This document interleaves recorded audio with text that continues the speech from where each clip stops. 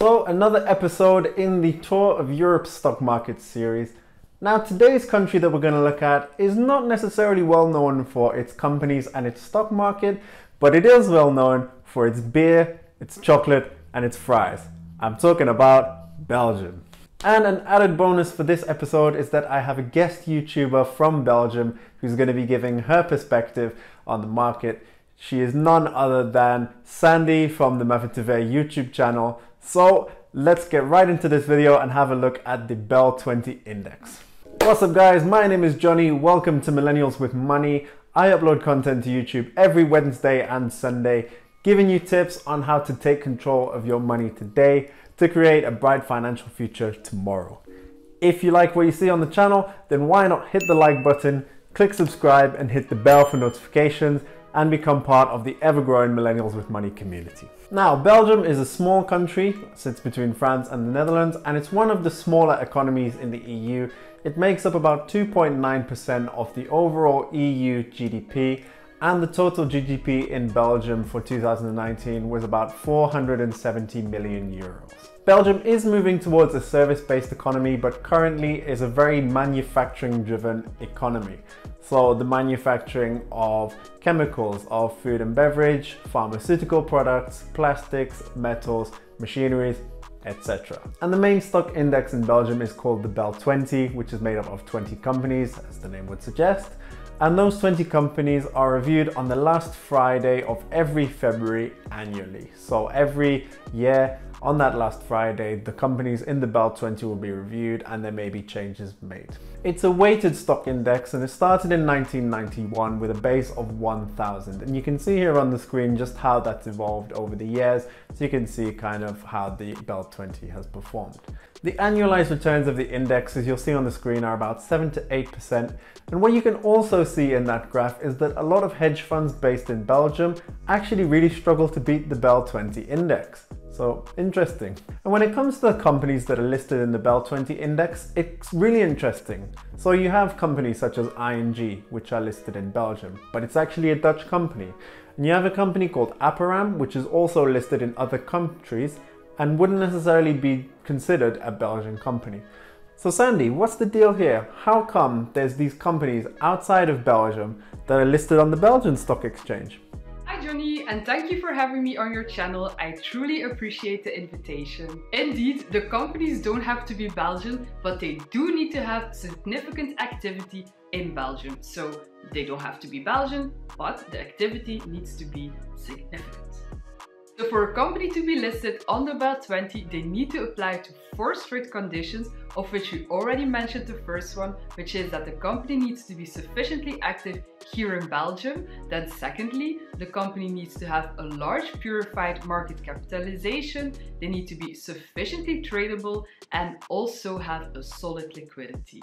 So these are the companies which are currently listed in the Bel 20 and their weight into the index. As you can see, the banking sector has the largest share of the index with a total of 21.4%. The healthcare sector is the second largest sector in this index with 21.28%. And lastly, there's the chemical sector and the chemical sector is represented at around 10%. That's interesting stuff there, Sandy. Thank you for sharing that. And as you can see, those sectors are somewhat somewhat representative of what I said before about how Belgium is a manufacturing based economy. Now, for those of you that follow my channel, you'll know that I have an ETF pie on Trading 212, and in that pie, I've included various stock indices from around the world, such as the S&P 500, the Nikkei 225 from Japan, and the Euro Stoxx 50 within Europe.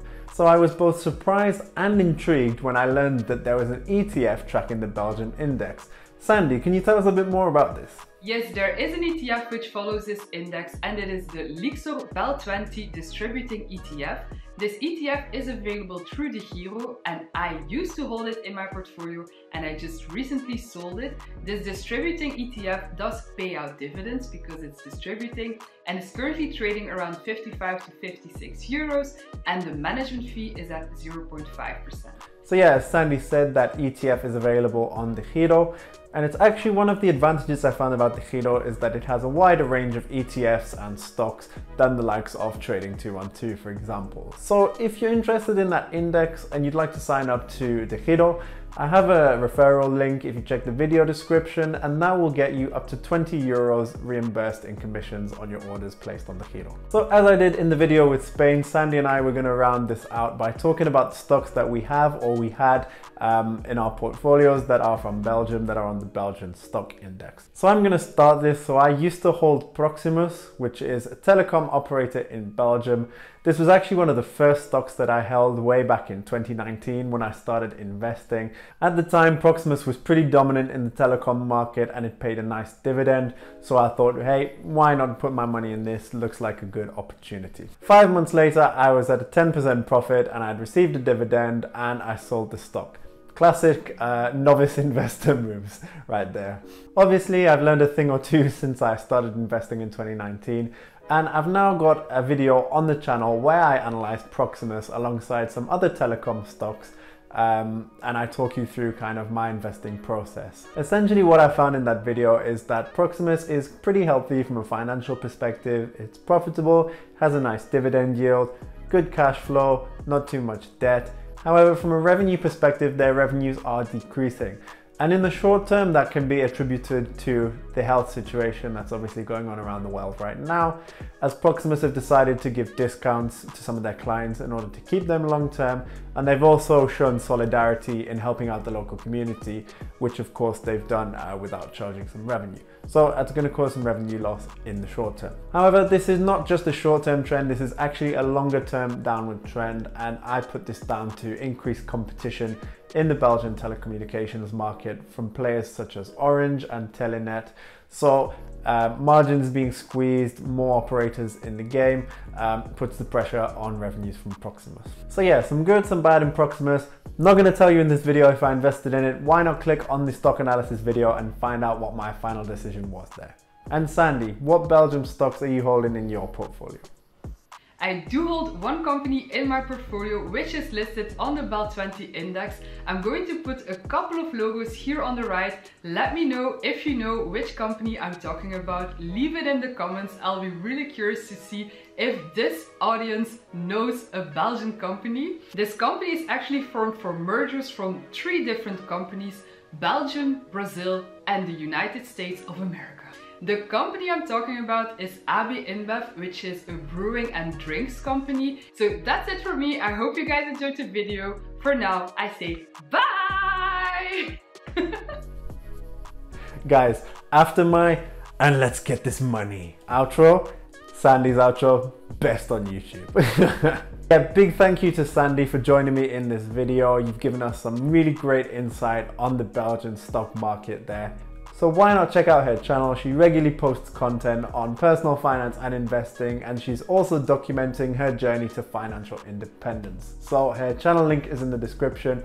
Guys, go over, show her some love, subscribe and smash the like button on her videos. And let me know what you thought of this video. Are there any stocks in Belgium that you're interested in? Are you interested in that BEL 20 ETF that Sandy mentioned earlier? Leave a comment and let us know down below. That's all from today's video. Hope you enjoyed it. And if you did, Make sure you tell another millennial that this channel is where the good stuff goes down. Be sure to check out the Millennials with Money social media and internet pages and also the other videos on this channel. I'll see you on the next one and let's get this money.